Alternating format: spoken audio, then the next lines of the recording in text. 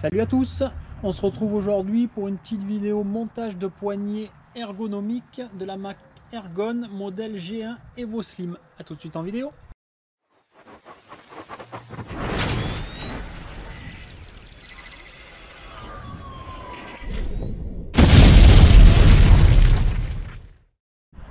Alors j'avais besoin de changer mes poignées, je me suis dit pourquoi pas tester des poignées ergonomiques sur la chaîne, comme ça si c'est vraiment bon on pourra faire partager l'info euh, à tout le monde.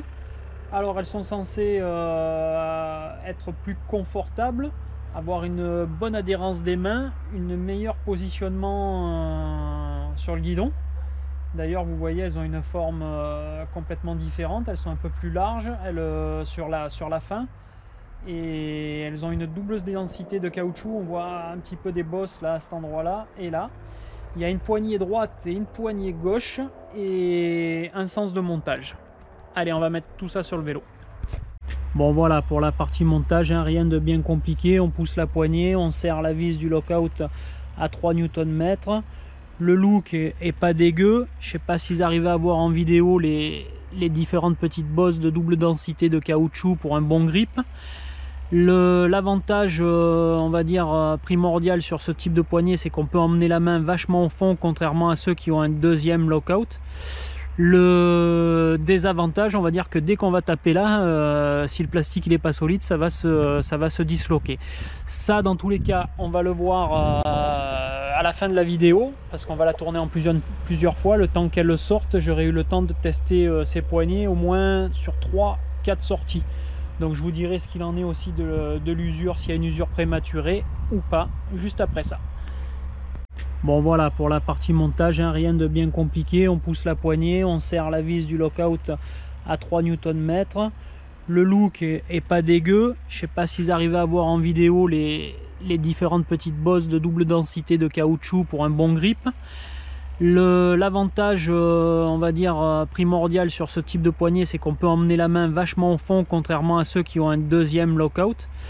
Le désavantage, on va dire que dès qu'on va taper là, euh, si le plastique n'est pas solide, ça va, se, ça va se disloquer. Ça, dans tous les cas, on va le voir à la fin de la vidéo, parce qu'on va la tourner en plusieurs, plusieurs fois. Le temps qu'elle sorte, j'aurai eu le temps de tester ces poignées au moins sur 3-4 sorties. Donc je vous dirai ce qu'il en est aussi de, l'usure, s'il y a une usure prématurée ou pas, juste après ça.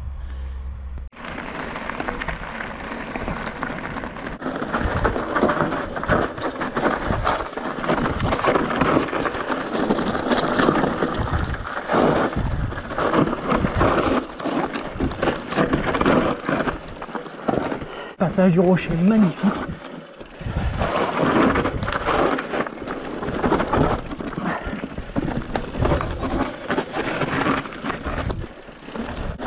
Fin de la deuxième descente et franchement poignée ergon au top.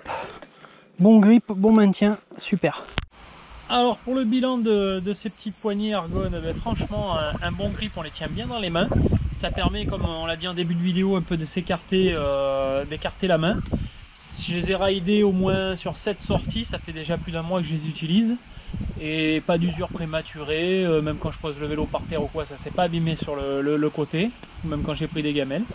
Euh, elles, ont, elles filtrent vachement, vachement bien, donc pour ceux qui ont des problèmes de, douleur dans les mains, je pense que c'est un bon produit. Moi je les ai pris en version slim parce que j'avais des grosses poignées et elles étaient trop grosses pour moi. Euh, je vous conseille de prendre les, les normales parce qu'en slim elles sont vraiment vraiment étroites, c'est vraiment fait pour des petites mains.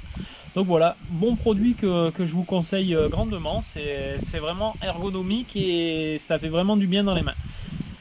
Voilà, ce tuto tout ça chapin, si ça vous a semblé utile et que ça vous a plu, bah, n'hésitez pas à lâcher un petit pouce bleu et un commentaire et puis on se retrouve pour une prochaine vidéo. Ciao tout le monde